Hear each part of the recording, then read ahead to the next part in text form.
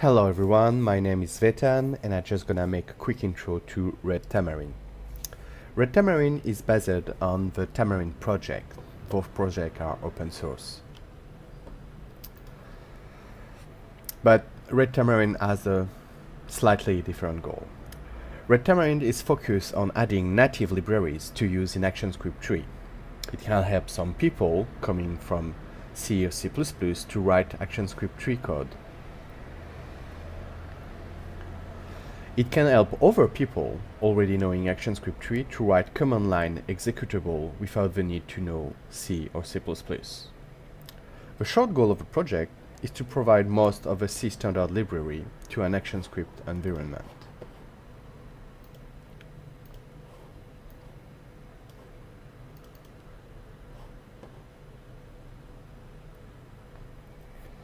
The medium goal is to provide specialized library to use sockets or database like SQLite, for example. The long-term goal is to provide a native API that replicates some part of the Adobe integrated runtime that you know better as Air. My little hidden goal is to teach myself C and C++. But that's another problem. I love Flash, Flex, and Air, but I also like the command line. And that's why I started this project. So let's see a little example.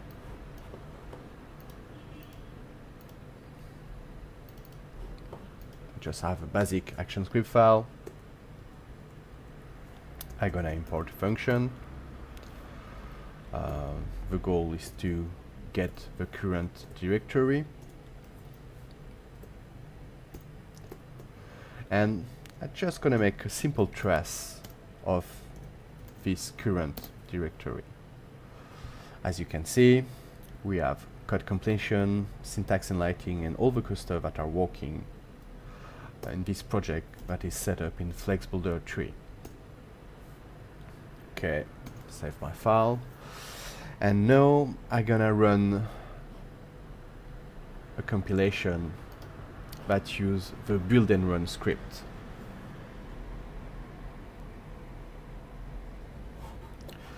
So that script first generate an ABC file and then execute this file with a red shell runtime.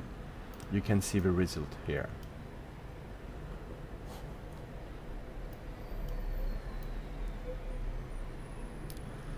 Okay, so let's see what happened. So you got a runtime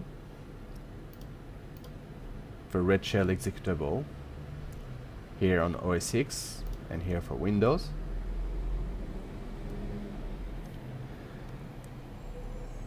And you got also a binary file, the ABC file,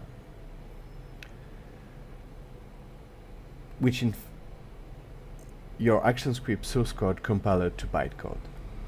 Uh, just a little detail, uh, the Red Shell executable is in fact a slightly modified version of the AVM shell that you can find in the Tamarin project.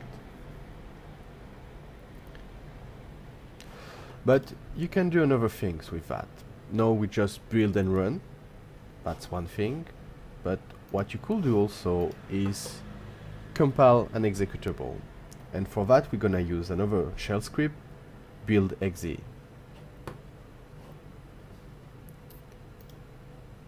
Let's run it. So you can see there is a first compilation and a second one. Because in fact this script generates two executable. You can see them here you got one for OS X and you got one for Windows. As you can see, I'm using OS X, so let's run this executable. I am in my project source directory that lists the files. I want to run men. Good, it's working. In fact, we got our ABC file inside the red shell executable and they are both merged and you got a self-contained executable and you see you got also another executable that is for Windows and we're gonna run it inside the Windows virtual machine to see if it's working.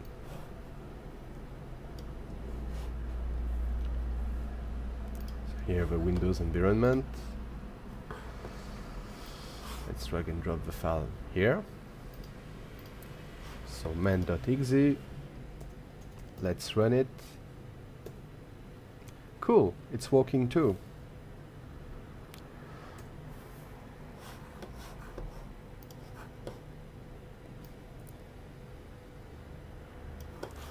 So to give a little more detail,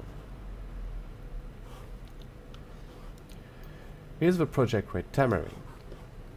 It is based on two things. You got the red directory that is in, in fact a subdirectory that need to be used with Tamarin Central. This is basically C and C++ source code that allow to modify the AVM shell to add more native function. You got also an ActionScript 3 library that is named RedShell that is basically the building ActionScript object and some uh, over definition that allow to define native ActionScript 3 function. And basically you use it like that you got a bin directory with the ActionScript compiler, uh, the native building library and top level library, the red shell executable, some shell script that work on OS X or Windows, and from there you can write your source code in ActionScript 3 and with those utilities, you can compile it to an executable. If you go on the Red Tamarin project, on the download page, oh, just wanted to show the download page, you will have listed a simple zip file that contains all that you need to get started.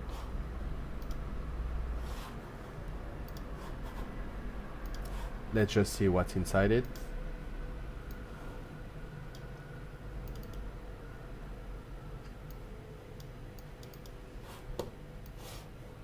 I download the file I unzipped it and here what you got. You got the ActionScript compiler. Those things I already talked about. And those basic shell scripts. So in fact, when you start a project in Flex Builder, you just merge these little settings with your project and you also need to get the ActionScript 3 red shell library so you can have the code completion not only for the building object but also for um, the native function I added in red shell so let's see a little more code completion.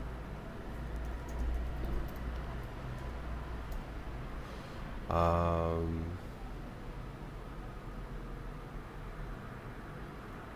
got standard lib, for example, and you got basic function about at exit, exit, get environment, random, set environment, system, things like that.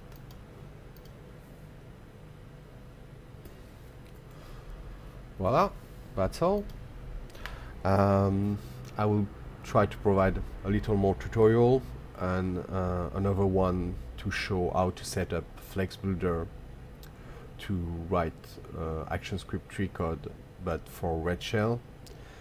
And um, see you next time. Cheers